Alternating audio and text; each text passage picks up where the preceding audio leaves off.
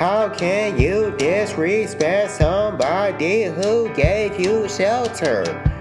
They protected you from danger. They took care of you and were friendly to you. It said that you're ungrateful, although they never disrespected you. You disrespected them on social media when you had to talk about your problems. They were your support system. You stole from them, although you could have asked them.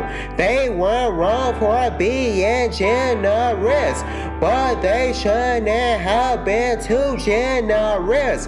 They didn't have to give you a place to live. You got evicted from your home and could have been homeless. They didn't ask you to pay to live with them, but you still use them. They didn't realize that you were taking advantage of them.